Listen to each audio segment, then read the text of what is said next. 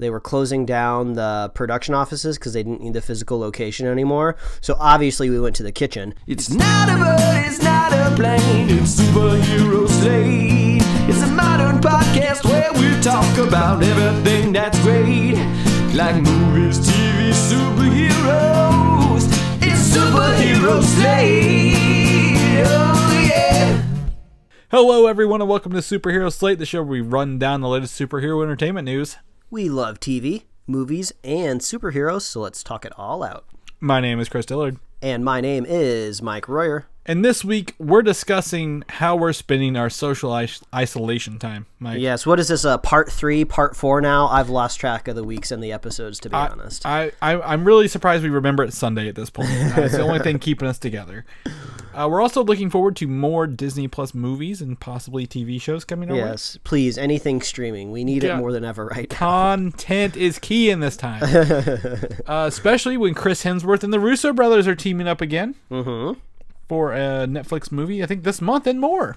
Yeah, I was uh, thinking about this episode a lot recently because we were playing uh, some online video games uh, just the other day, and you were just like, "Oh man, I haven't found really any news for us uh, yet. Things it's slim pickings out there."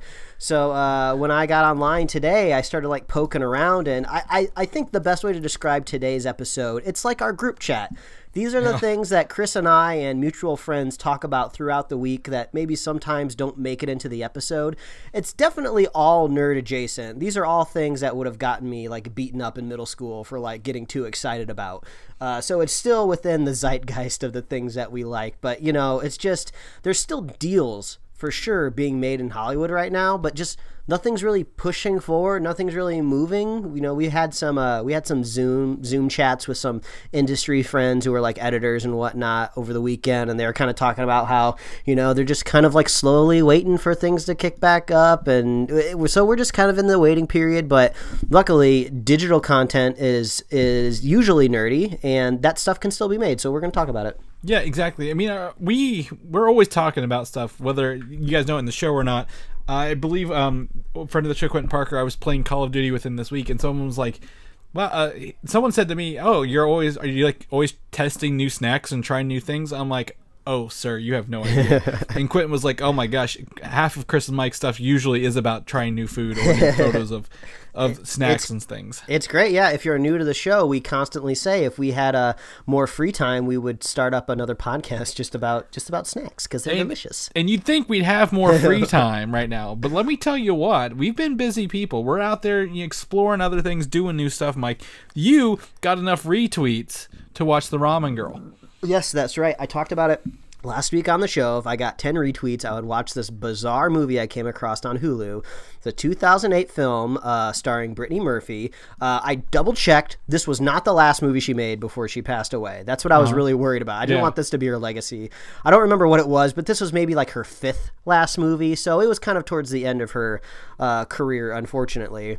But yeah, I came across the trailer on Hulu. It just seemed very, very bizarre, and it just kind of seemed like, oh, maybe this is one of those movies that's so bad it's good. So uh, since I talked about it last week, I was just like, I have to watch it before we record today's show, or people are going to call me out for not watching it. But I found a sneaky workaround of a Chrome extension that lets me speed up HTML5 video player within Hulu. So uh, I, I sped up I sped it up to at least 2x. The the UI on the extension wasn't really working, so I just kind of had to gauge how fast it was going. So I sped it up to as fast as I could comprehend the story.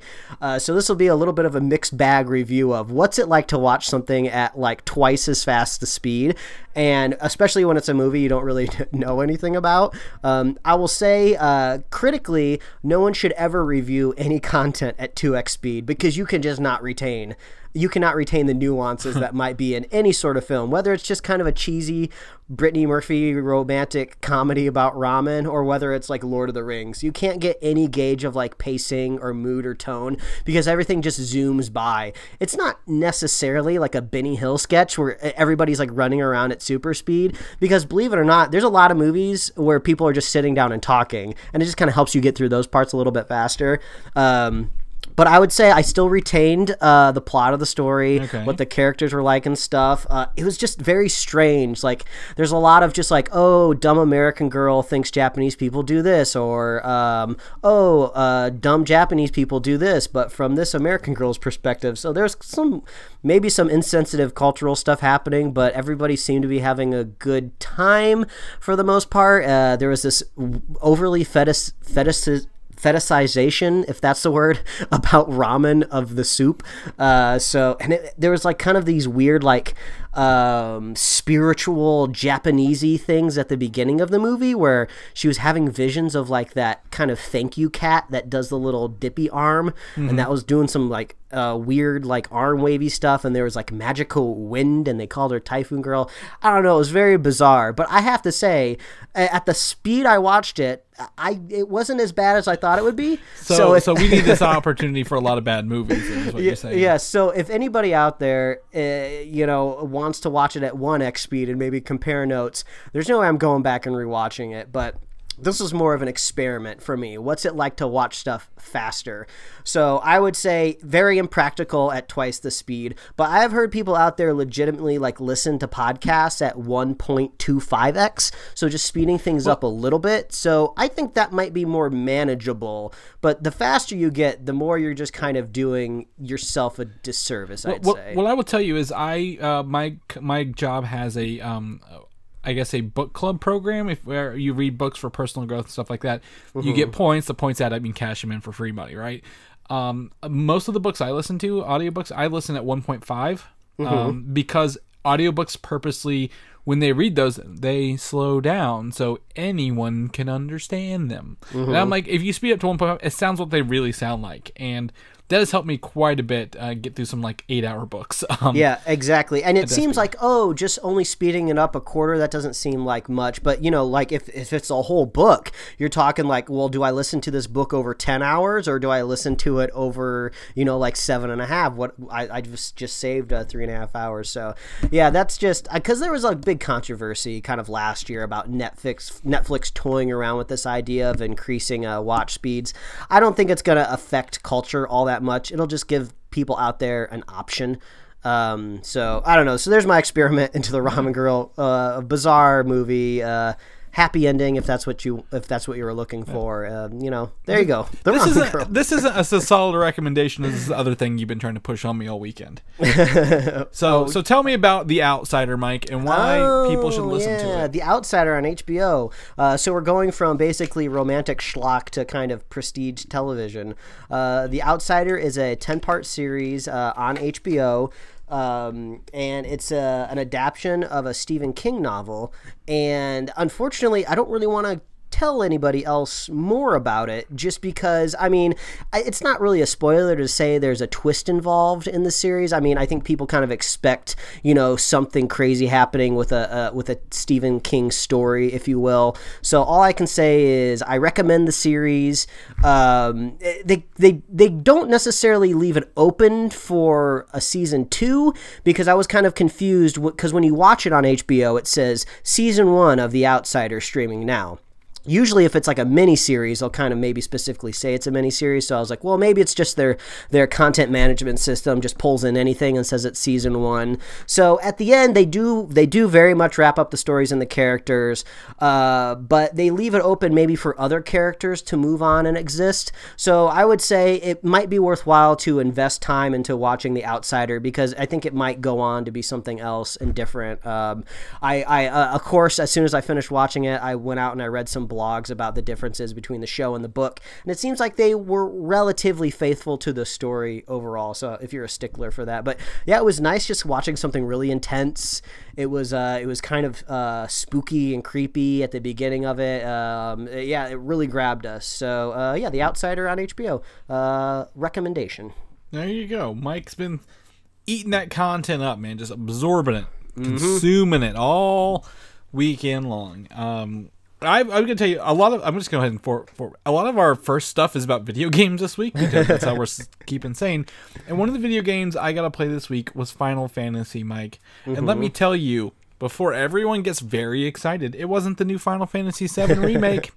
No, sir. It was Final Fantasy VIII remastered because Final Fantasy VIII is my jam. And I shared a picture of Mike with this. I went to eBay a couple weeks ago and bought the original. It's not Prima. It's Brady Game Strategy Guide uh, for this. So I have the original book with the nostalgia factor in this remastered game, and they've added three cool things to this, Mike. Mm-hmm. They've taken like an emulator approach to this remaster. Okay. If you click the left stick in, it will play at 3x speed. Oh, see, this is the theme of today's podcast. I feel like if you're if you're on your podcast player now, mess with your speeds. It, it seems to be calling. Yeah, so uh, I I got really spoiled with that the first like you know hour because it's weird because if, if there's a timer in the game, it doesn't speed up, just the gameplay does. So it's very interesting uh, to see that approach. If you click the other stick, it automatically gives you access to your ultimate moves rather than having to be in like a quarter health.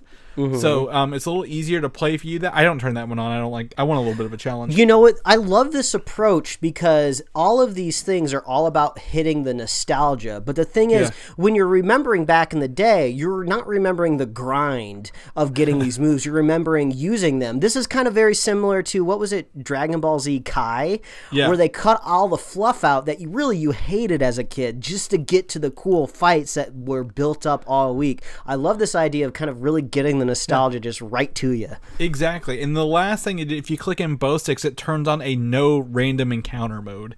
So you don't have to be annoyed as hell if you're just exploring Wow, this area. this is great, and with the speed increase too. yeah, This is uh, we're really really hitting it on the head here. so I I'm again Final Fantasy 8. I think it's on sale right now. I bought it on sale when I bought it, you know, a while back. But like if you're a fan of older Final Fantasy games, I don't care which one you like, 7, 8, 9, 10, 11, 12, whatever. There's there's 15 plus of them now at least.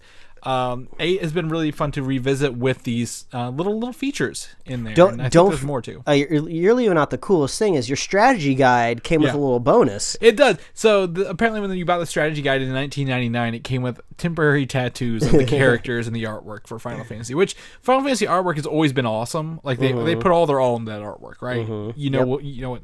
So you get these tattoos, and they're all intact in the back of this book, never touched, never taken out. So Oh, that's so cool. It was worth the eBay uh, trip to, to get this because I hate going to eBay sometimes. Now you know what you're you're married. You're a married man. You own a house. I feel like you're in the safe zone where you're allowed to go purchase a replica gun sword because that's the coolest thing about Final Fantasy VIII, and just mount it on your wall. And then when people come over, they won't look at you and judge you because they're like, "Look at all I have. Yes, I have a gun sword. You cannot judge me. I'm a fully employed male with a Yeah, wife." yeah. ignore all the pop vinyls. Just focus on the gun blade I've purchased here uh, that can actually fire bullets at the same time. You know, uh, no, That'd be sick. it would, it would be. It would be. I think. I think. You know, they say the pen is mightier than the sword, but they need to meet a gun blade. Yeah. It's definitely mightier. um, but you mentioned as a homeowner, what have I been doing the past three days? It feels like. Uh, first and foremost, I went and had to buy a new lawnmower this week, Mike, and I shared with you my experience because I bought a battery powered lawnmower. uh, my car is electric and my lawnmower is electric now too, and um, they also say that it's electric. Do do do do do do do do. Um, but what's been cool about it is it's a self-propelled mower, and I've never had one of these before. Uh, so pushing my lawnmower up my huge ass hill that my house sits on, uh, it's never been easier by just pulling this lever, and it's like a, it's like a remote control car. It just takes itself up the hill. So, Mike. so we, we were talking about nostalgia briefly, and I feel like my strongest connection to my childhood is my dad is in love with his lawn. He's very much a Hank Hill archetype. So I grew up over the weekends with the sound of gas powered lawnmowers. So uh, I definitely uh, uh, um, am, am accepting of all electric technology because it's simpler and it's just better all all around. Uh, but what does an electric lawnmower sound like? It's it's uh, it's really quiet. Like uh, I mentioned to you, I meant to listen to music when I mow to drown out the the motor. Right? uh I forgot to turn my air, music on. I just had AirPods in the whole time I was pushing this mower around because it was very it's very quiet. It's still got to spin the blades, but it, it's not very it's not as loud. Uh, So if it you will. sounds, it's a more peaceful experience. It sounds like. Yeah, yeah, definitely more more consistent. Um, I, I think my my weed whacker's a little louder, if I could uh, Well. say so. Well, Um, good good to know. Well, yeah, and I and I, I, I got to use that, and then um, I've been sharing, I've been documenting this. It's not nearly done, but I, I'm hanging drywall in my garage for the Oh first time ever. that's the most mature thing you've ever said on the podcast, Chris. Yeah, thank you, thank you. Um, it's probably I my it's it's a whole body workout. So if you're looking for some at home workouts, take down some drywall, put it back up. You'll be miserable uh, when it's all said and done. Use every muscle in your body. But I um again we talked about this before the show. I'm learning some of the stuff the hard way, the things they don't teach you in school, right? Um, how which a proper way to put the drywall against the wall is vertical, not horizontal, then stack another one on top of it because now I feel like a jackass when I look at that wall. However, you know, I was able to do it and the drywall lined up and everything's level. So I'm like, I think I taught myself a new skill in a worst case scenario. But at the same time, I'm like, I did a lot more work than I needed to for this. Um, but the whole point of that is we never have touched our garage since we moved in. It's just been framed in, no drywall, nothing. So mm-hmm. we have paint taken everything off, painted the walls that were there. I, I got a new cabinet put in. It's gonna look great when it's done. So I'm documenting the whole thing. So follow me later, and I'll show everyone the whole process by the time I'm done. If I end up not going crazy. I love it. I love that we're both being productive during this time. Yeah, in different ways. Um, Mike replaced a couch cushion. hey, it had a 90 degree turn at the edge, I- so it was very intense. My wife and I spent minutes trying to cram that thing back into the uh, cushion case that came with it. I think you did a great job. I'm, I'm not knocking it at all. If I had an Thank you. apartment and I didn't have to hang drywall, by God, I'd be doing that too. I'd be watching ramen girl movies and, and just sitting on the couch. oh, I, but- love, I love making you jealous, Chris. yeah. Do you have to get a new butt groove going in the, the cushion, like where you had it all worked Well, in before? no, the, the the that was the problem. We we put a butt groove in the old cushion, and it was just too much. Like you- it felt like your butt was starting to feel the bottom of the couch, like Oh, the yeah. frame. So you know what? If if anybody else has a similar scenario out there, uh, high density foam is pretty affordable out there on Amazon. You kind of have to buy in bulk, you know, because uh, couch cushions are large anyway, so you want to do a couple cushions at a time for sure. But it's great because like um, the if you if you don't go to the effort of trying to put like an extra layer of fabric around the cushion, which is what our old cushions looked like, and you just put the high density foam right in there, your cushions will look like freaking Lego blocks. that like if you cut it right, and it'll just be have like these crisp corners, but it's soft. So you you, you gotta see it to believe it. But uh, anything's good for our butts. If you're Feels sitting like down stream a lot, you gotta you gotta take care of your butt. yeah, does it feel like a new cushion, new couch? Oh hell yeah! Good, because I'm going to need you to feel really good when we're playing Call of Duty Warzone this week. uh, segue into our first topic, Call of Duty Warzone. We've been playing it this week, c- past couple weeks actually. Yeah, let's uh this small round of applause for Call of Duty finally making it into the news segment. Uh, Mm-hmm. Mainly because I found a little bit of news around it, so now we can officially graduate it into the show rotation. Yep, yep, exactly. We play. We um they have on this new season launch this week, so they can do squads, four players, three players, and one player. Why they haven't just added two players in to make it easy, I don't know, Mike. But To one, leave three, you or four. more. They're leaving you a lot more. Right, and, and the really the first day this happened, I'm like, okay, we can play four people now. You know, uh, one through four. We had five people. I'm like, well, of course, the math never lines up perfectly to have uh everyone play together. So hopefully they get it to where it's you know everyone can play together soon. But uh, it says here, you know, um, this this free to play games in its third season.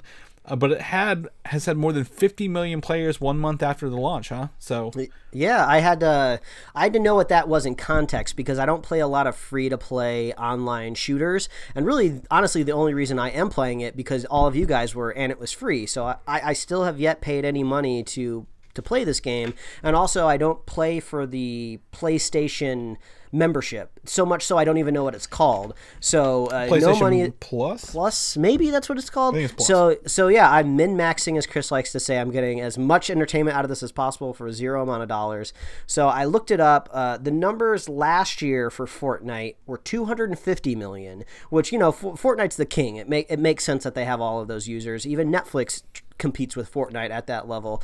But uh, a more comparable note of Apex Legends, uh, which I think is another kind of dominant free shooter, had uh, around 70 million players in October. So Call of Duty, they got that brand name to really pull people in. So I've been having fun. I've been having a blast. I I'm gonna I'm gonna come back to this kind of the themes of Call of Duty when we talk about a trailer a little bit later in the show. So I feel like a lot of these like Warzone things are on the on the front of my brain. Like it's been a while since I've really been into the mechanics of a video game. I've been playing a lot of casual stuff at the last couple years that don't require like a whole lot of hyper strategy that I would say an online shooter does because there's so much coordination to do. So like I was in bed last night going like, man, I think I should balance my um, my submachine gun because if I use the, the one Chris is using is fine, but I feel like I run out of a clip before I kill a guy. So maybe I should find something that has a little bit more damage and maybe less fire rate. Maybe that'll balance out. So like I'm just uh, yeah, I'm I'm really into this right now. Well, you can, at least you can mod your weapons. You can add a bigger clip to it when you level it up. That's So, true. That's, but either way, Call of Duty Warzone's been free. It's a popular game. It's cross-platform. I'm on my Xbox. Mike's is on his PlayStation. This is a wonderful experience for people around the world to really play together and stay in contact with each other without having to, you know, break the bank, buy a new console, buy buy a game. Even hell, um, you, you can save your money by playing this and just uh, not not buying into it. So That's right. uh, just leave a lot of time. The installation times are ridiculous. The first time you install it, you're probably just not going to play it that day. It's just going to take forever. And then, God forbid, you're trying to hop on and there's an update. So just maybe give some lead time if something new pops into the game. or or put your make sure your auto updates are turned on. That way, Mm-hmm. it, it just does it in the background while you're while you're working. So I think that's been fun. Uh, what's going to be interesting to see, Mike, is will the next generation consoles have this crossplay feature that we know? Will PlayStation Four players be against PlayStation Five players on these free to play Oh, games? interesting. um, because you know we're getting closer and closer to these new consoles, and the PlayStation Five revealed uh, their new controller design this this week uh, to mixed fanfare. I think uh, around around the yeah, world. called the. Uh, looks like they're changing the name. It's no longer the DualShock. It's the DualSense Five. So I'm guessing the Five plays off of the PlayStation Five. Uh, yeah, it was weird. It, the weird thing about getting back into video games, which I've always kind of been tangentially in, I just kind of keep an eye on it in the corner of my eyes. Like, okay, don't do anything crazy. Got to make sure I can keep up with the kids out there these days. But now, kind of really diving back into it, like it's the video game video game discourse is is as insane as it's always been. Like because we haven't seen any visual markers of what the PlayStation 5 will look like except for this controller. And of course, everybody has opinions about a controller. It's just hilarious. Like this just kind of looks like a it's a little bit maybe kind of edging towards maybe the ergonomics of um of an Xbox controller. Uh, they seem to be moving more towards the white color scheme, and I think that's kind of what's freaking people out. They just Yeah. they miss the the normal colors, but it's just like go on Amazon right now and look at any video game controller. There's a thousand different color variations, and if looking at this PlayStation controller for the PlayStation 5 tells me anything, as that this is going to have custom faceplates out the wazoo. Like there've already been tons of like artists out there on social media like showing all these new different ideas that you could do to customize the controller for visuals. You know. Here's what I'm gonna tell you, Mike. Out of every video game I've ever played, I don't look at my controller once. if it feels good in my hands and I know where the buttons are, I'm not looking. Even if I don't know where the buttons are and I'm fumbling, I'm not looking at my controller, right? I'm just mashing buttons at this point. What I really, what I think, you know, people are really, you know, upset because it looks more like an Xbox controller with the curved handles and the white. But I will tell you right now, as a VR owners, both of us, what color is our VR headset? Yeah, it does. Actually, I didn't even think about that. It does look a lot like the PSVR. Yeah, it's the same color scheme as the VR. The blue as as the same as the the head, the lights on the headset, the white and the black. And and honestly, what's interesting to me is mostly that they took the colors off of the shapes. On Yeah, this. that's true. I mean, as long as the buttons are in the same spot, I think everyone will be fine. I think the only real critique, like legitimate critique I've seen about this controller is the options button and the share button on the controller have new icons to identify them and they're not really straightforward yes they're they're lines like the share button has like kind of three lines that kind of look like an explosion and They're the options outwards, yeah. yeah, and the options button kind of has that hamburger menu icon. But, you know, if you're trying to throw text up on your video game screen to say, press this button to do this thing, like you're going to have like these weird, like kind of three lines. So that might be kind of weird to kind of get across, like with a word. Like you can tell somebody to press the options button, but how do you tell somebody to press the three lines that look like an explosion button? So I get that from, uh, from, uh, But they've been doing that for years. Xbox doesn't have words, and the PlayStation Four doesn't have words. I think on theirs. Um, they do. It says options and Oh, share. Yeah, no, Xbox doesn't. So to me, it's second nature. I see the icon. I'm like, oh, I know which one that one is. Mm-hmm. Uh, what's What's interesting is, you know, I will always do this. I still do this today when we play. I'm like, press the start button. Well, which one's the start button? What's the one on the right? Like, Yeah. instinctively, it's the one on the right. Select is the one on the left. uh, do those exist anymore? No, not even close. But I think you know, where, where, what I told you is is interesting on this is that they actually put a built-in microphone into the controller now. So if you don't have a headset. Uh, or it's not handy, or you know it's charging or whatever, and it's broken. You can talk to the controller to talk to your friends very quickly. I, I think that's great, and I've really learned a lot about uh, headset technology over the last week or two because I needed a new one. And there's this huge like high-end community for headsets. But what I didn't realize is there's this whole like Bluetooth uh, architecture that specifically headsets for gaming use, as opposed to like listening to music like through earbuds or you know other Bluetooth headsets for music, because that you want really low latency. Because I guess a lot of people, what I didn't realize is they're listening to their game audio through their headphones because you get that higher quality of accuracy, especially in a game like Warzone where people are always creeping around corners and you can hear them. So uh, they want like a lower latency thing. So there, yeah, there's a lot more technology into the audio side of this than I thought that that there would be.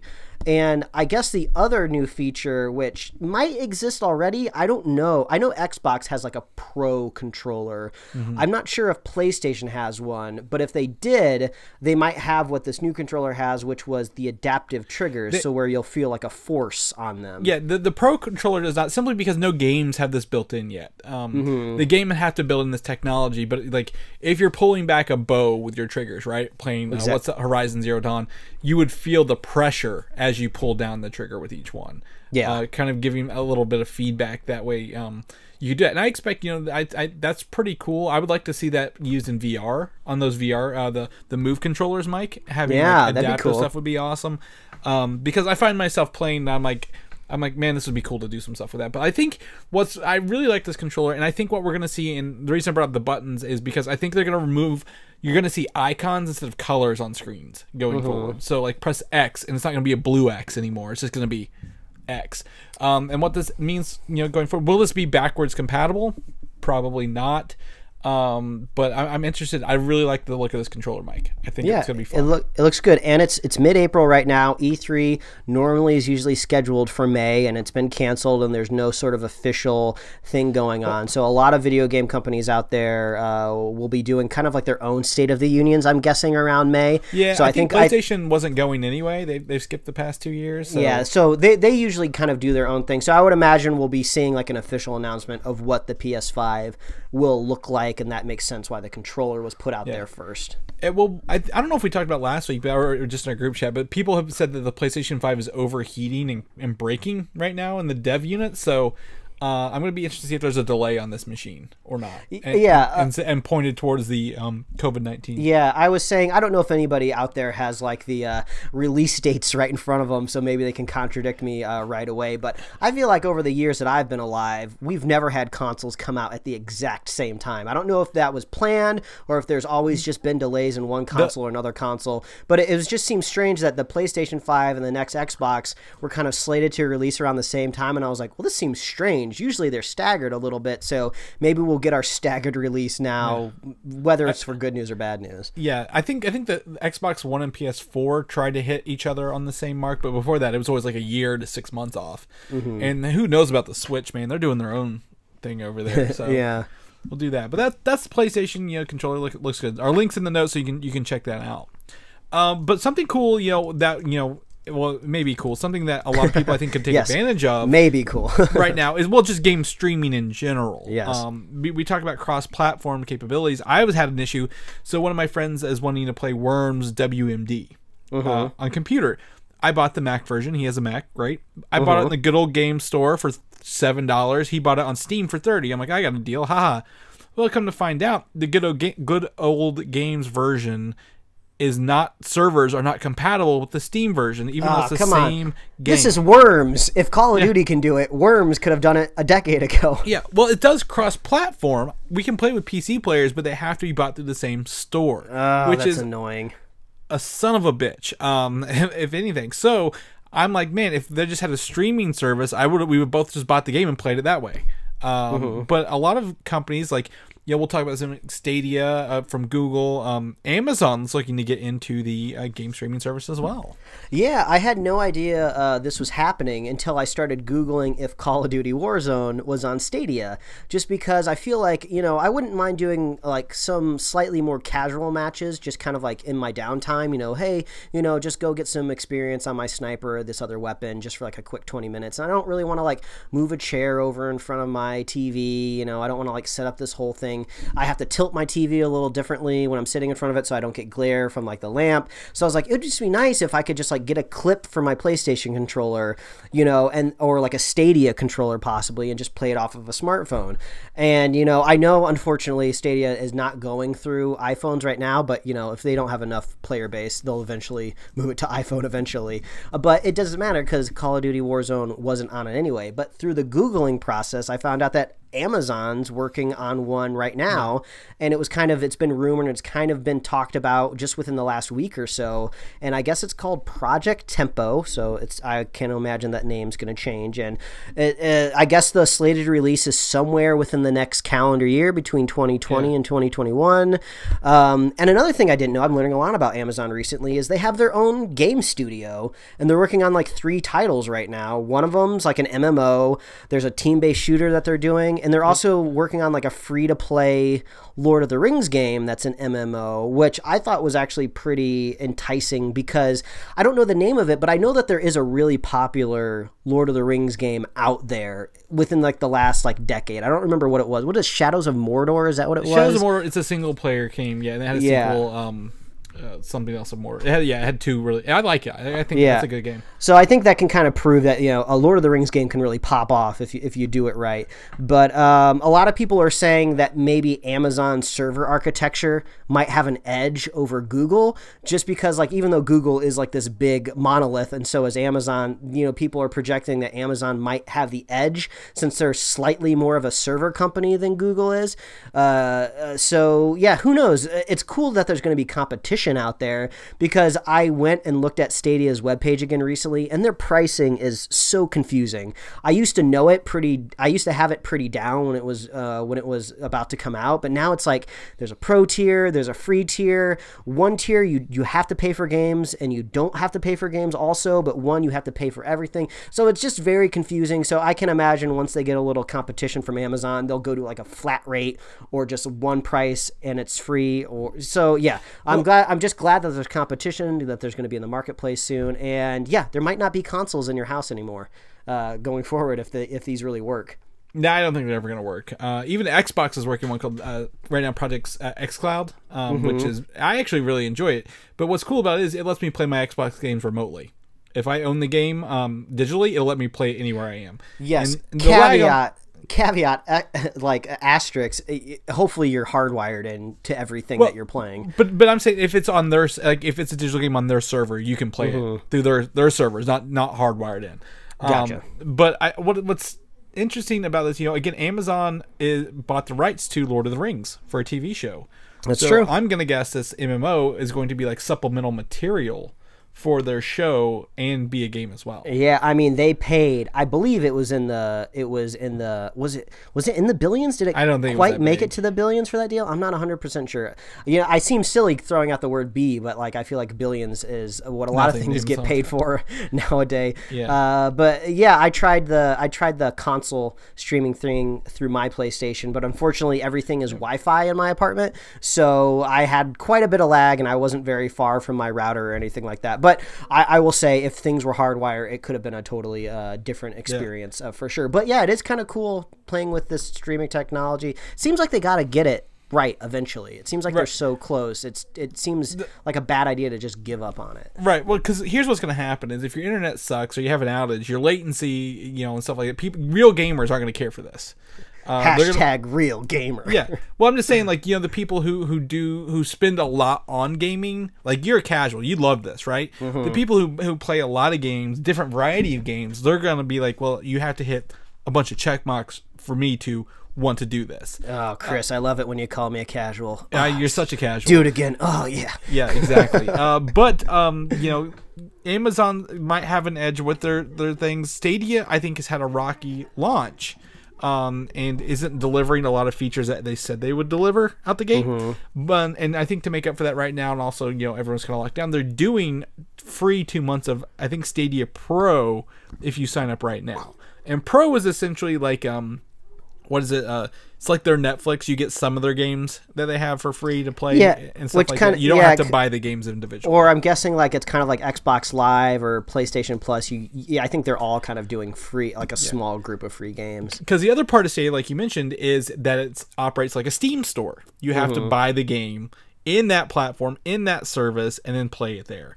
Yeah, Uh, it's strange. It's almost just like buying the controller is kind of like buying the console. So it's like imagine the console's in the controller, but not really. So it's like you still got to buy games, but there's still some free. Yeah, it's it's and their controller doesn't even do the Wi-Fi connect that they promised yet. So, Hmm. um, but if you want to try it for two months, uh, the Pro they have Destiny in there, uh, Borderlands Three, Red Dead uh, Redemption Two, Mortal Kombat. You can give it a try, see if your internet can can hold up to it, uh, and, and, and go that way. I'm gonna give it. I'm gonna give it a try uh, for you know free two months, Mike. I don't nothing no sweat off my back. I like I like a good you know prolonged trial, which is something else we talk about here in a little bit. yeah, give it a shot. It seems like we're definitely carving out a little Chris and Mike's video game corner in the podcast, at least for the foreseeable future. So I'll, I will say it now. If there's any video games out there that you're playing that you're really into, you'd like us to try, or you just want to hear our commentary on it, please let us know because we're kind of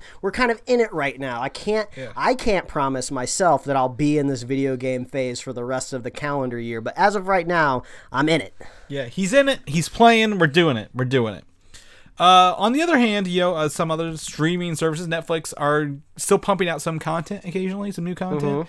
Um, Extraction, uh, the latest uh, movie uh, on Netflix this year, uh, produced by the Russo brothers and starring Chris Hemsworth, uh, is is coming out uh, April twenty fourth, I believe. Is that correct? Yeah, it's at some point this month. Uh, this will be dropping on Netflix. Yep, and it's very much looks like a. I mean, if I can be honest, a, kind of a generic Warzone kind of movie, where the the guy's like, "I got to get this kid out of here, but I'm not leaving this kid behind." Yeah, and and that's kind of what I was expecting when I was going into the trailer because everything about like the the art and the poster and like the thumbnail for it said generic. But when you throw Chris Hemsworth and the Russo brothers into it, it does pique your interest. Um, when I was watching the trailer, I did like I was saying earlier, I got Call of Duty vibes. I don't know if it's just because like I'm kind of like in it, like I was just saying a moment ago. So I was just like, oh, look at this body armor, look at these kind of weapons. I'm feeling kind of this modern warfare stuff going on here. But one thing that I did notice is there's lots of like dynamic camera movement, which I thought was pretty cool. It seems like there's a few like extended, like long, drawn out camera work. Can I tell you the scene where the, he's backing the car up down the road, and you're Yes. it from the outside of the car. He pulls a Yui like a like a pivot, you know, brake r- and forward, and the camera moves into the car with him in that Mm-hmm. movement.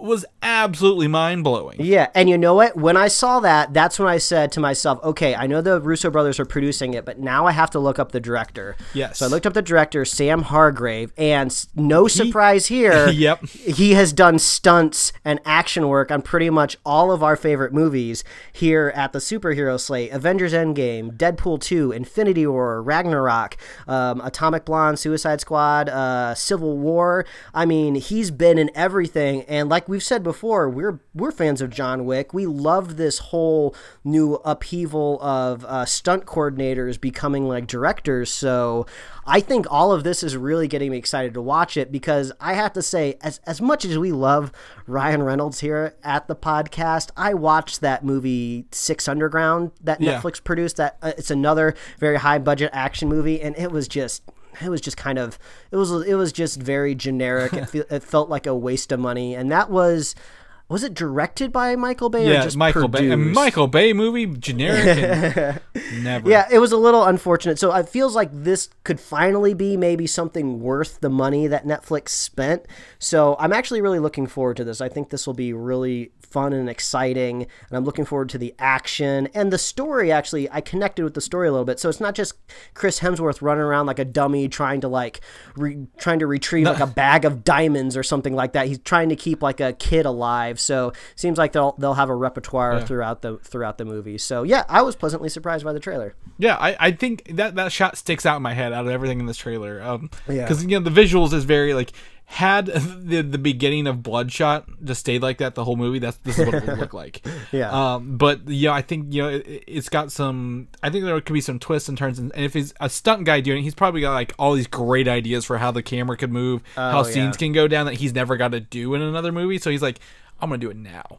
Uh, so I'm excited to kind of see how some of this plays out and how um, you know the one man army that is Chris Hemsworth takes on both you know the government and these two mobs trying to get this kid. So Yeah. um, gonna be gonna be fun. Gonna be gonna be interesting.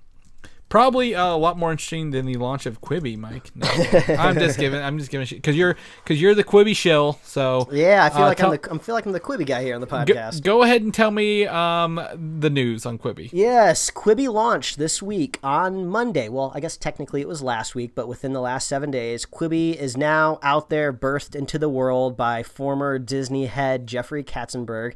And uh, one thing I didn't know, I think technically the CEO of the company used to run HP. Um, uh, I guess she uh, has been in kind of like the tech space for a while. I just didn't know that. I thought I'd throw that out there. So, Quibi in the first couple of days, I think racked in around 300,000 downloads, and now uh, uh, they're up to I think 830,000 is the latest number. So it's kind of hard to judge off those numbers yet because you're kind of looking for the millions. You're looking for that one mil, two mil big number that you can splash up there to kind of compete at least percentage wise, kind of near adjacent to Disney Plus. So they haven't quite hit that uh, seven figure number just yet. But some people are saying this is a this is a halfway decent performance for an app download because I guess how do you judge it? Do you judge it by its app qualities or do you judge it by its kind of like streaming qualities? Who knows what you're supposed to do? But Quibi is out there in the world, and uh, you were the one that let me know first that this is the longest trial period without having to pay for a service we've ever seen. 90 days that is that is risky uh you know i mean in 90 days will you forget and get it but like is it because every episode is like if you took an episode of uh, what is it chrissy's court in here right mm-hmm. put three of those together that's really like a half hour show Is that like and you like uh, you get a month free of that service so is are they just tripling everything because you're getting a third of what you would normally get Yeah, I don't know. This could be very much just a very strategical move, trying to get as many people to download it and get it on their phone as possible. Like, uh, the kind of the nice thing about it is it's, uh, I mean, I guess Apple really likes this is all the billing goes through the App Store, so Apple's going to get their thirty percent cut no matter what. Uh, but it was nice. I didn't have to put in any credit card information or anything like that. I do have to say I did put a reminder in my phone. Everybody who got it on day one will be renewing. I think it's around July 6th, I believe. So I put a reminder on July 4th in my phone. Quibi uh, charges you in two days. Uh, so I'll make the final decision there. But I've only been able to watch two things right now. I checked out uh, a shoe, like a sneakerhead documentary series called You Ain't Got These from Lena Waithe, who's a, a really up and coming writer. She's done some stuff for Master of None uh, over on Netflix. So she's very talented. Um, and but really the thing that I wanted to look into this was the app, the whole feature of the turnstile. You turn it horizontal, you turn it vertical, you're getting different video content kind of it really just depends on what you're watching to be honest so this is just a little docu series about sneakerheads so I'm constantly turning my screen, testing it out, knowing what am I missing? What am I missing? What am I missing? In this type of show, you're not really missing anything, but they are doing some creative things. So, if you're watching a show about sneakers landscape, right? You're seeing like a nice sexy shot of like a Air Jordan, right?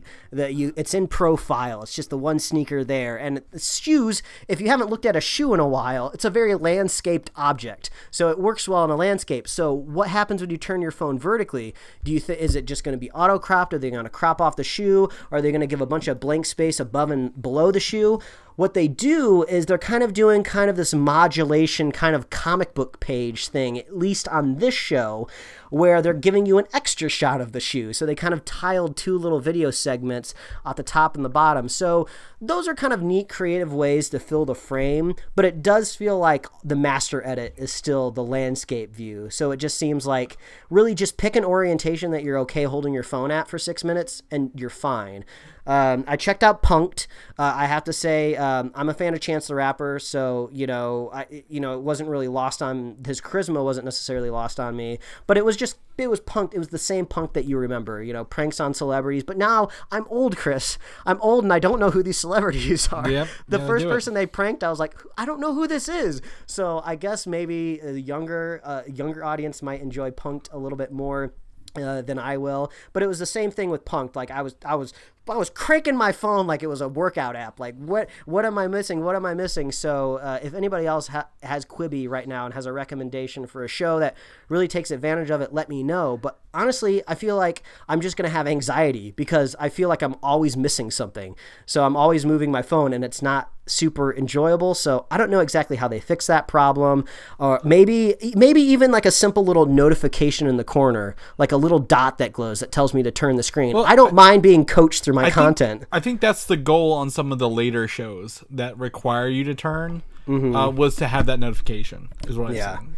So, um, uh, but the biggest thing, at least from being quarantined, my wife and I are sharing a lot of media together because you know we're quarant- we're cohabitating, and normally that's what we do in any given circumstances. We like to find stuff that we both like to watch, and there theoretically could be stuff on Quibi that we both want to watch.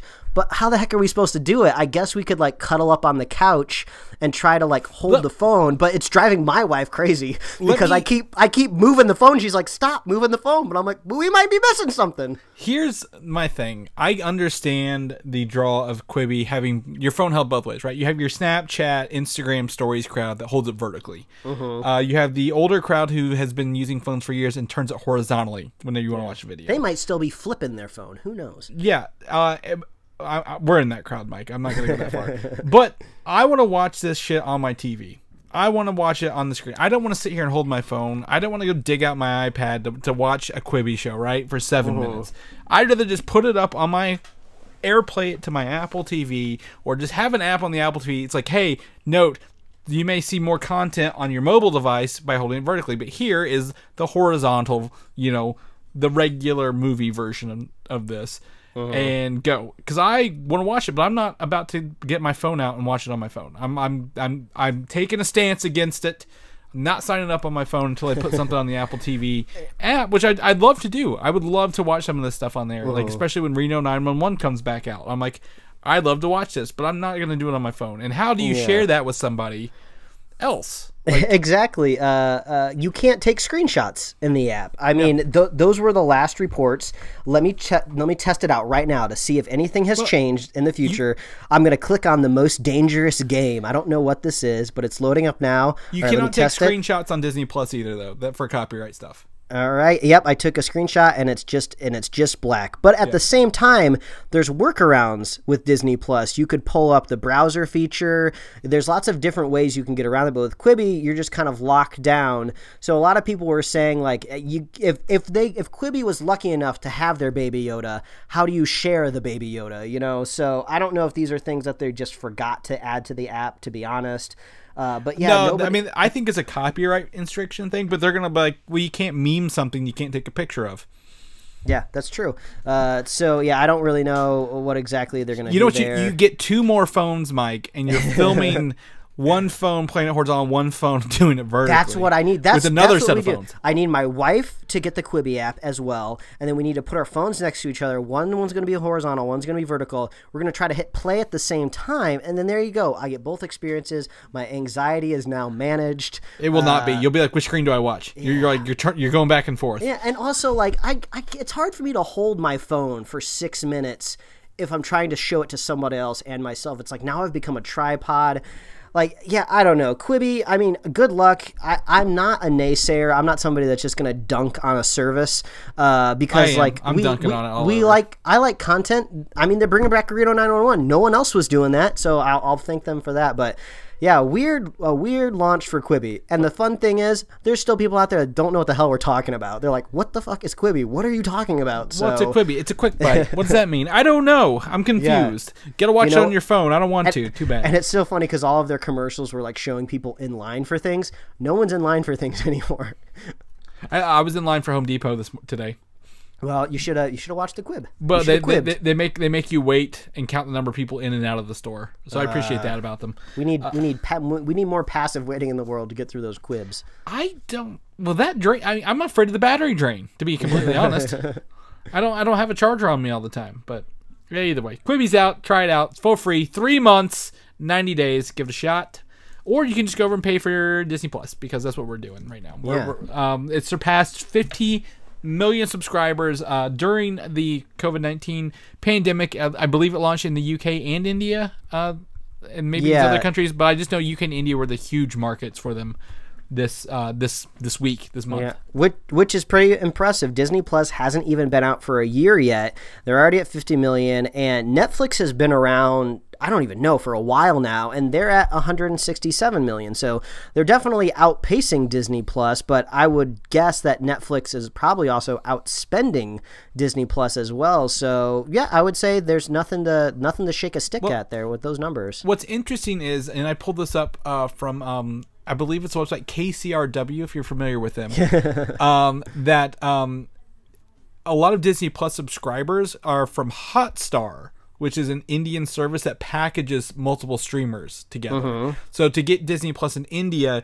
you have to purchase Hotstar, or you're already part of Hotstar. You know, one thing I also didn't know is there's a lot of international governments out there that will not let your streaming service come into their country unless you promise that some percentage of your catalog is home to a lot of uh, country specific content. So, like, if you're releasing a streaming service in India, you have to have, like, I, I don't know what the number is, but let's say like 40% of your content of your library has to be like native, native Indian content, stuff produced in that country. So, yeah, these s- streaming services look bizarrely different in different countries because you have to hit those requirements. Yes, and we, we sit over here and we, we're like, oh well, we want this, this, and this, and there. But what other you know countries have different contracts with streaming? I know Australia uses um, Foxtel, uh, and I believe it's Foxtel down in uh, Australia, which has like houses almost everything. They don't have Hulu down there, um, or there's or there's something else. I think Sky they have down there maybe, um, that, which houses the other half of the stuff. They have like a lock on like due to their government and how everything operates, they have like a, a monopoly on streaming stuff down there. So uh, we we I think you know sometimes we don't have it good, but you know other times our streaming services look pretty uh pretty pretty nice compared to everybody else. Pretty, pretty, pretty nice. Pretty good. Uh, speaking of, uh, do you remember the old cartoon Robin Hood from Disney? Yes, I do. These this was that was one of the few Disney movies that I would say uh, a boy could easily like when he was a child growing up. I'm not saying boys can't like Disney princess movies, but you know, at least in my house household, I like the stuff that didn't necessarily focus around a princess. Robin Hood is a timeless classic. I grew up watching Robin Hood Men in Tights mm-hmm. and this cartoon Robin Hood because my grandma would not let me watch Robin Hood Men in Tights. I'll tell you that right now. and just to be clear, this is the Robin Hood where the where the people are animals. exactly. You want Robin? He's a fox. You want uh you want uh this chicken strumming on a banjo to that doing that song I can't think of the tune of in my head right now. It's been a while since we've seen it. Yeah, um, a Little John's a bear who looks like Baloo. I mean, all these Disney characters all look the same, right? Um, so they are making this uh, cartoon into a live action CG hybrid. it's in development right now. What's that word we're using? Live action. Yeah, this is one thing that I've really been looking out there. There's not a lot of official wording for this announcement, but the closest thing I could find was um, live action C- CG hybrid from the Insider that uh, that reported about this. But when I first saw this announced, I got really excited because. The Lion King wasn't what popped in my head first. It was Zootopia. Zootopia is a great movie. I love that film. They do a great job kind of turning the animals into people. I love all the little nuances that they did with the way these these animals live their life.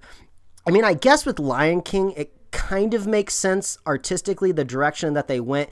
Uh, it sounds like the execution didn't work out as much as they thought it would, but it's like a real life nature documentary, but the animals talk. Okay, I kind of get it. But like, this is the animals are going to be wearing clothes in this one. They're going to be walking on two feet, you know, like bipeds, like mimicking humans. It's, I feel like if they're going for like a CG look, like, we gotta throw away the term live live action. That's just that doesn't belong attached to this at all, and I can't see anybody arguing it for it in that direction. Well, but you can though because here's the thing: Have you seen the Good Dinosaur? the Good Dinosaur, yeah, there was a person in it though. Right, but, but, but no, no, there wasn't a person. It was CG characters with live action backgrounds.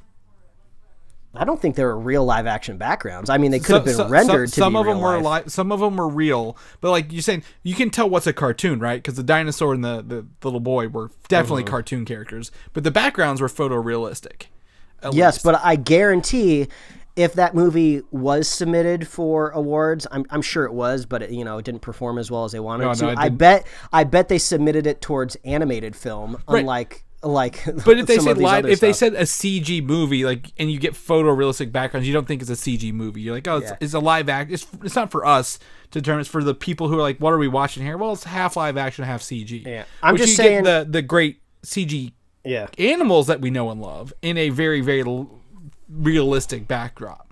I'm just saying this is the time. This is going to be the hill that everybody dies on. You know, the waters were murky with the Lion King, but when Robin Hood comes into development, we absolutely need to decide what live action is and what lifelike is and what animation is because this movie is going to be mainly animation artists working on characters. There there could be mocap people there for sure, you know, just because they want to get those mocap maybe people performers with the dots like in the behind the scenes thing. But it's just like this is an animated movie to me more than ever if you're having animals act like people. Here's the thing: I don't want realistic animals in guard because my problem with the Lion King is they all talked, but they didn't have any emotion on their faces. They mm-hmm. kept their real animal faces, right?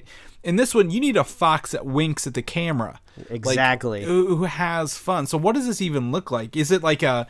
Is it kind of like you know? Are you familiar with the new Pokemon? Um, the the new one, the I I've- choose you. Yeah, I've seen I've seen a little bit of It's it. Yeah. literally the original Pokemon movie redone in CG Mm-hmm. um, graphics. So it's the same stuff, same shots, almost. I mean, they they tweak some stuff because it was shot for shot. It wouldn't be worth releasing, but like you know, maybe that maybe that's what I want to see. Like um, If- like you if- mentioned, a Zootopia style. Yeah, but if you want success, just hire the Zootopia team. They're great. I love that movie. It's so good. Zootopia is good. If you haven't seen it, go watch it. It's great. It's plug in Jason Bateman again. Jason Bateman, he's in The Outsider. He's also the voice of the fox. Yes, there. Yeah, that's right. There's a fox in Zootopia. It's it's just Zootopia. So just do that, and you'll be fine, and you won't piss people off. So, uh, but yeah, this is the hill that I'll be dying on. But but here's the thing: I don't want a remake of that movie exactly. I want them to take some liberties with it. oh yeah, for sure. because I mean I love the original. Like if you just redid it with like it sounds the same. Like who's the voice actors you're gonna get? Because all those are classic Disney voice actors Mm-hmm. of that era. What the Jungle Book? I mean, Kaa is even in this one. Like the snake, same voice actor did both Mm-hmm. of them. Like it's like.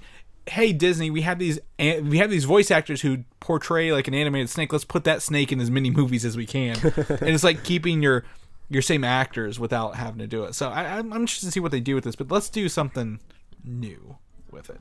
Yeah, and if I don't know if we mentioned this in the in the fever discussion there, this will be on Disney Plus. This Disney will be Plus, yeah. Disney Plus only, Yeah. not theaters. Uh, so I don't know if it'll quite. It might, it might be the bump they die on, Mike, rather than the hill for Disney. Plus. the uh, the speed bump. yeah, Lady the Tramp's doing good on there, and that's a that's a mix. That's live action people and animals. So the MCU uh, had a press release come out this week uh, from uh, France saying that a She-Hulk, Moon Knight, Miss Marvel are confirmed for 2022 still. Now, will that you know be delayed or not? I don't know right now, but you know, people were like, when do they come out? We don't know. Was it 2021 late or what? So they did say, you know, in this press release from them, 2022 at this current date.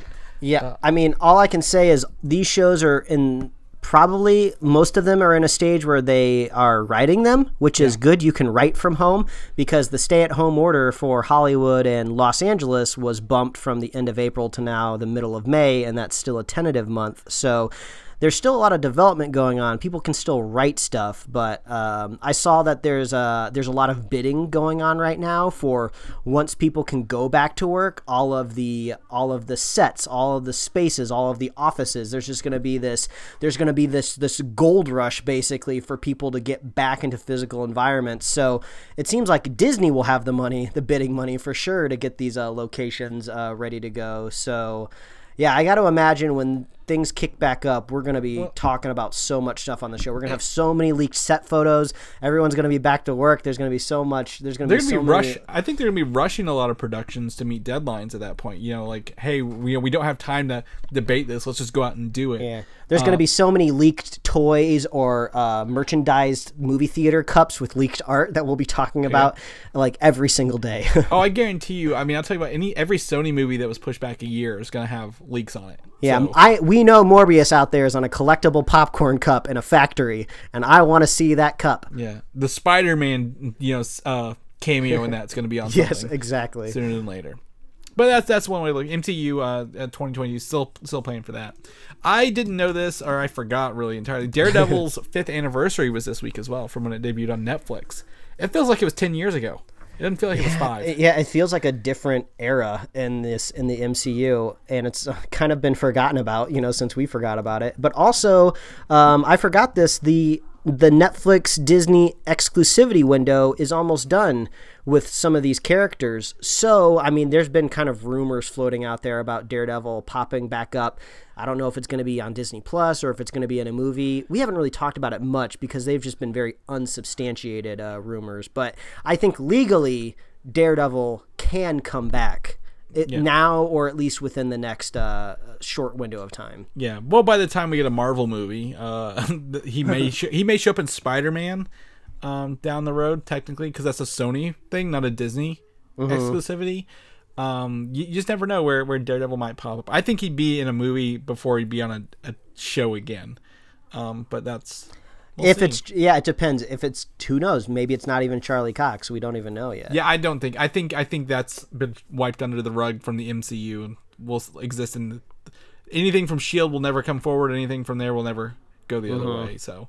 Uh, again, because the only thing that ever did come forward from the TV shows was Jarvis from Agent Carter into uh, Endgame. So Yeah. that was the only thing that ever moved forward. The New Mutants, uh, uh, something um, people probably wish was swept under the rug, um, has a, this runtime revealed because you know it's supposed to be in theaters now, um, with a 94 minute runtime, which makes it Yes. the shortest X Men movie to date.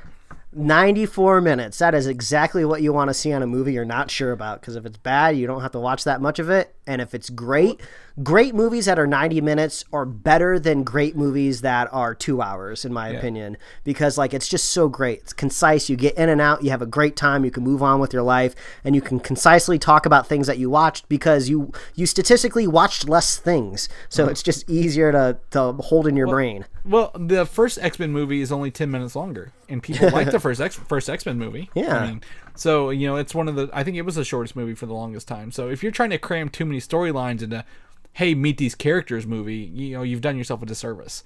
Um, the longest movie, and they, they put this in the article. I didn't realize this was Apocalypse at 144 minutes. Can you imagine Grown.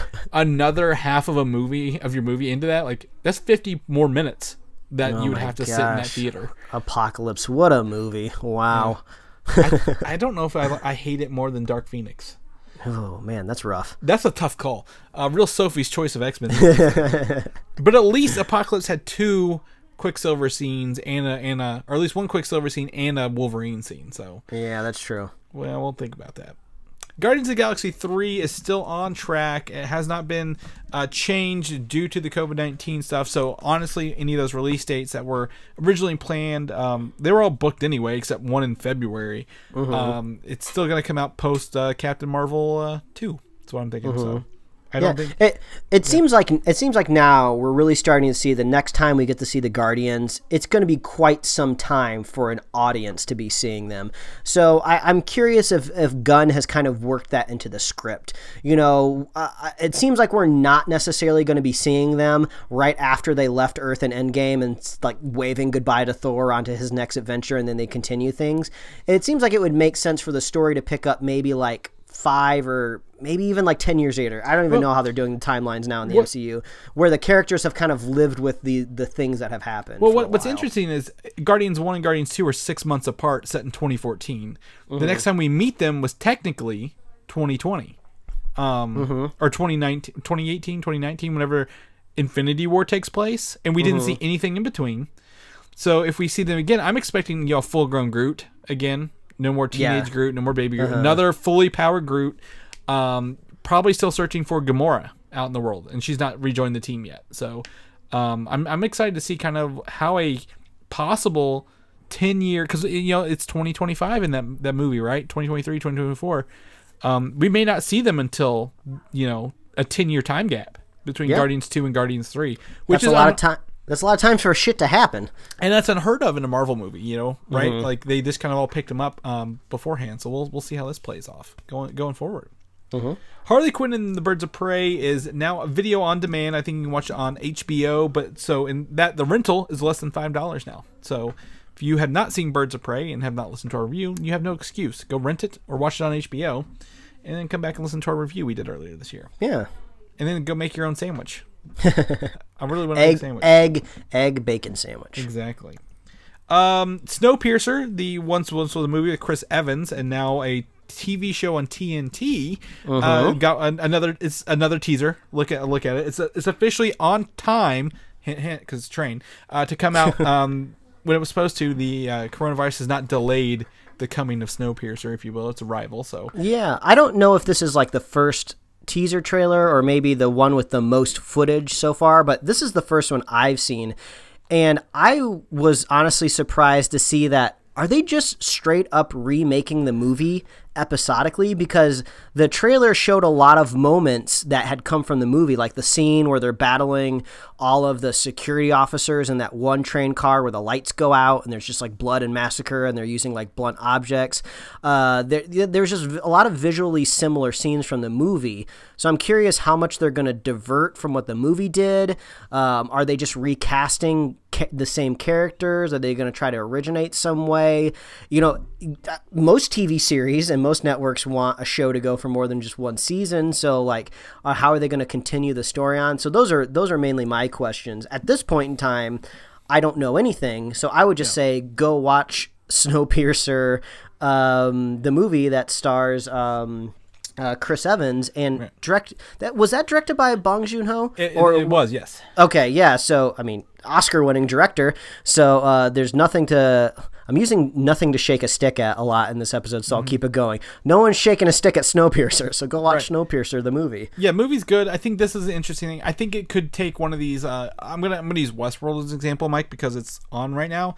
The first season followed the original movie a little bit, the original Westworld movies, and I think this first season will follow the movie, and then after that it'll branch off. Yeah. Uh, season ju- two and three will kind of Yeah. tackle some other stuff. I just I just checked on our favorite website, uh, Just Watch. Uh, uh, Snow Snowpiercer is streaming in um, Netflix, so just go watch it There there. you go. Boom. Netflix and chill on the Snowpiercer. Uh, Midnight Gospel here, Mike. I don't know anything about this. I didn't watch this trailer. I'm going to be straight up honest with you. So lay it on me. What is? I'll fill in the Gospel. audience. This is the first official trailer for Pendleton Ward's next cartoon.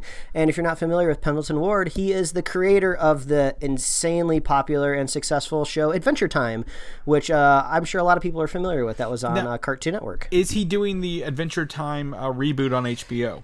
I think he's just in a producer role. I believe at, at some point through the series of Adventure Time, he kind of handed over the reins of a lot of the show to um, a producer. I think his name's Adam Muto. I think he's got a he had a lot of the decisions over the kind of uh, the large chunk of Adventure Time. I think he's mainly working on the HBO stuff, but he has moved on to uh, Netflix to create this show, The Midnight Gospel. And I wanted to bring it up for two reasons. One, it just looks crazy. Like the colors are crazy vivid. It's just nuts. A bunch of weird characters. This looks very much like an adult swim show.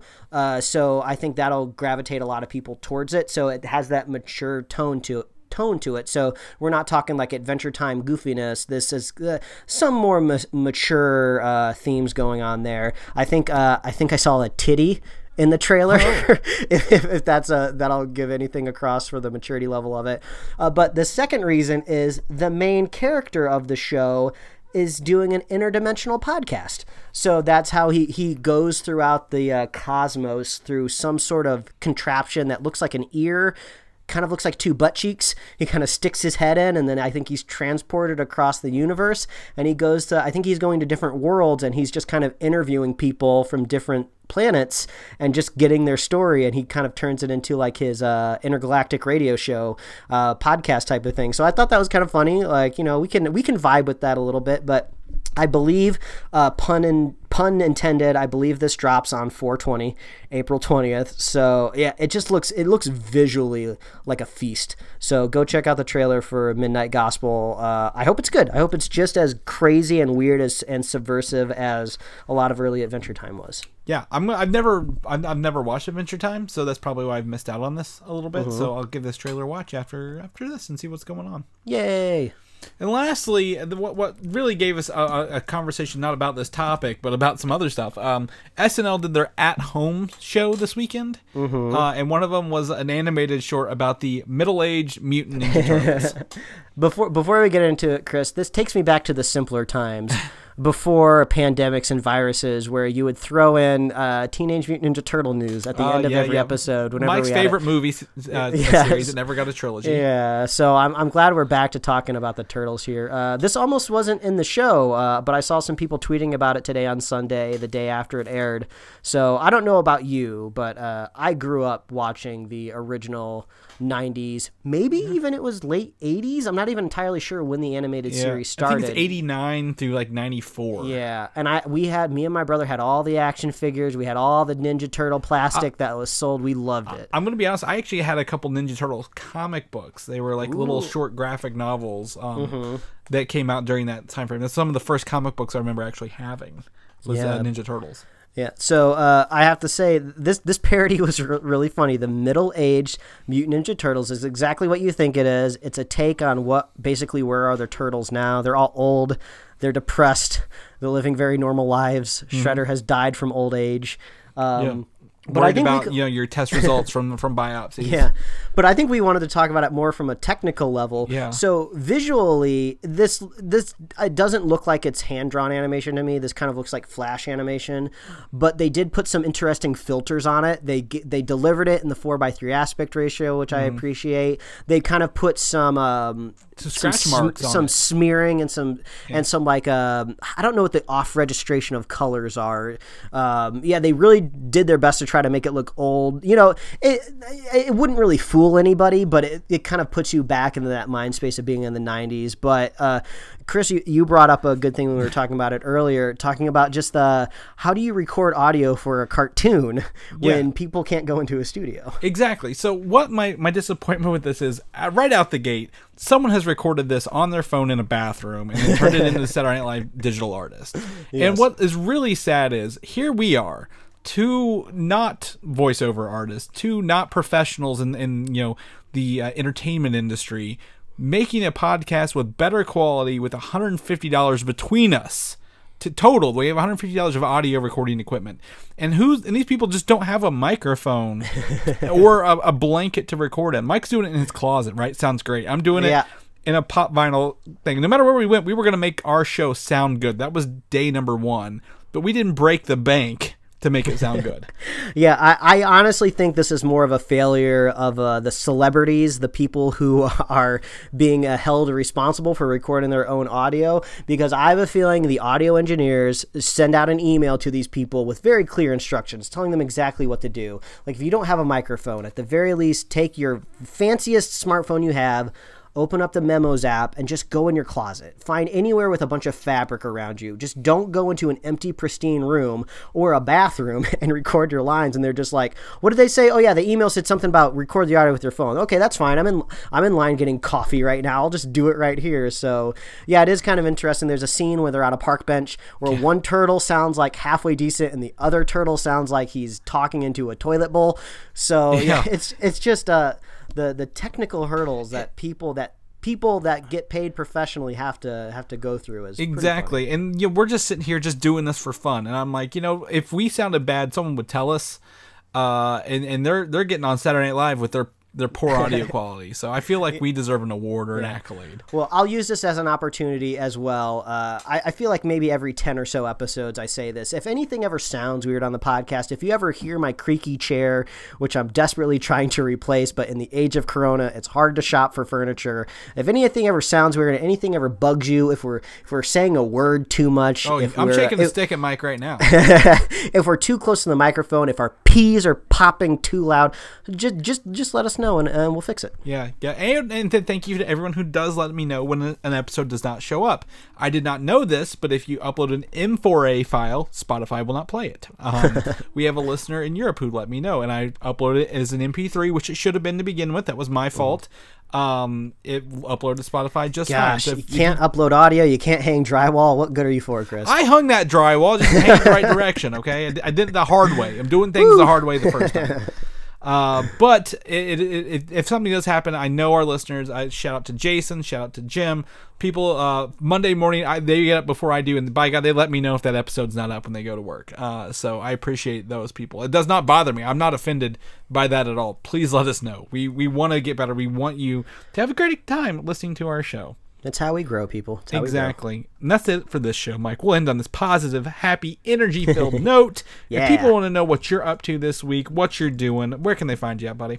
Oh, it's so easy. All you got to do is follow me at Mike Royer Design on Instagram and Twitter, and you can read my webcomics at pickledcomics.com. Chris, if people want to catch up with you, see what you're doing in this time of social isolation, where can they find you? Oh, I'm isolating, baby. Don't you worry. You can find me on Twitter, Valdan, V A L D A N, or Instagram, Valdan87. I'm going to be putting up all these. I've, I've documented the hell out of my garage work uh, this weekend. so whenever it's all done, I'm going to make a nice little documentary about it. Uh, probably put out here called The Garage King uh, with my, my you know, enemy Carol Baskins. She's out there trying to tear down my drywall. No, I'm kidding. Um, or you can head over to Comic UI. Uh, people want to know about our episodes. Here, we're here every week, whether everything's shut down or not. We're still doing this show, Mike, and we prepared for social isolation by recording this podcast across the country from each other when we started. So we've been doing this for you know five, six years, uh, ready for this kind of thing. So where can people uh, find our episodes at? Oh, that's so easy. Just visit superheroslate.com. That's right. We got the domain name five years ago, and I'm glad we did. Superheroslate.com. Uh, that's the place. Best place to find all of our show notes. So we got a lot of hyperlinks in this episode, mainly because I wrote half of the show notes. So usually I, I- overlink things. So I did clean it up a little bit, but it's yeah, fine. if you ever want to check my work, like my high school teachers, uh, go check out all these links in the show notes. And you can find us on Apple Podcasts, YouTube, Spotify, and wherever else you love to listen to podcasts. Please like us on Facebook, follow us on Twitter and Instagram, and you can get merch at superheroslate.com slash store. Uh, like I said throughout this whole episode, we love hearing from you. Let us know what video games you're playing. Uh, let us know if you think we need any technical improvements on the podcast. Uh, we want to know uh, what you want, and we'll give it to you. Uh, and also, we love our super fans of the show. So if you want to be a super fan of the show right now, all you got to do it's the easiest thing. You just got to wash your hands. Wash your hands. Wash 'em. stay home, and you'll be a super fan of the show. Also, you can share it with people because you know they need stuff to do during this downtime. They're looking for podcasts to listen to, and by gosh, we're interesting sometimes. So you know, send it over. They'll they'll like the video game section or, or the part where we talk about um, Chris Hemsworth. People love looking at him, so you know, Oh, share that. Good, good looking guy. But uh, like I say, like I say every week, we'll be here every week, folks. That's right, and we'll catch you guys next week. All right, bye. Thanks for listening, and don't forget to subscribe. You know, you've got me a brilliant idea here, Mike. What if it's one cup at a gas station, right? A big cup, like a like a mm-hmm. huge theater style cup, but inside it's divided into se- different sections, so you can fill cup. each section with a different drink. That'd be fun. Pop the lid on it, and then the lid rotates to the one you want. Whoa, like one of those colored pens where you have all the Exactly like the colored pens.